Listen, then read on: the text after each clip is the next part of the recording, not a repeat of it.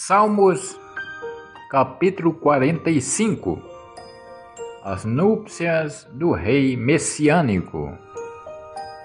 Ao regente do coro, conforme a melodia, os lírios, poema dos filhos de Coré, cântico de amor.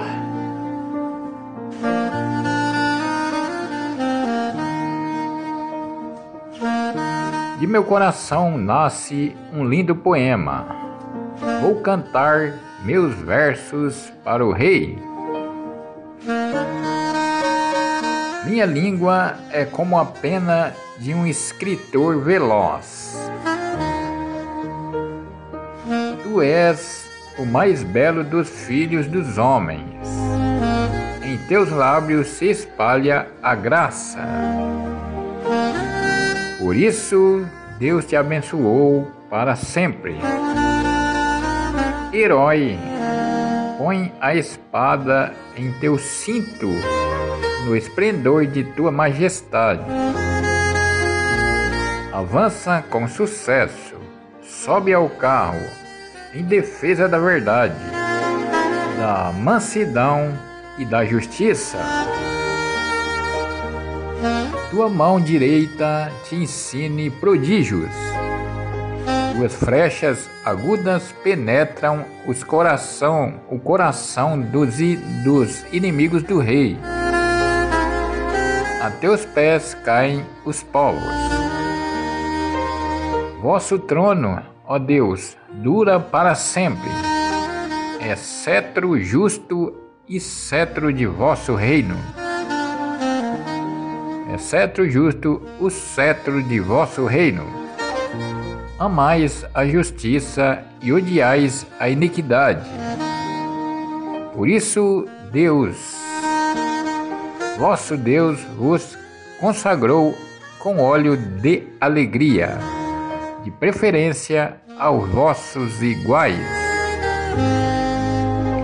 Vossas vestes têm um perfume de mirra aloé e cássia. Dos palácios de marfim vos alegra o som das ciftaras. Filhas de reis estão entre vossas prediletas. À vossa direita está a rainha, vestida com ouro de Ofir.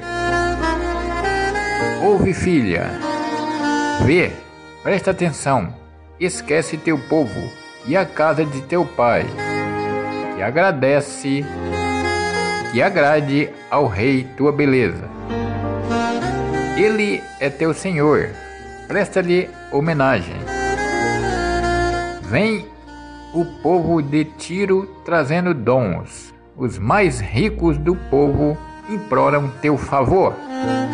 Toda formosa é a filha do rei em sua morada tecido de ouro é, é o seu vestido, e apresentada ao rei como vestes bordadas.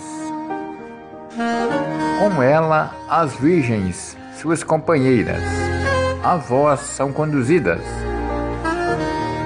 guiadas com alegria e exultação, entram no palácio real.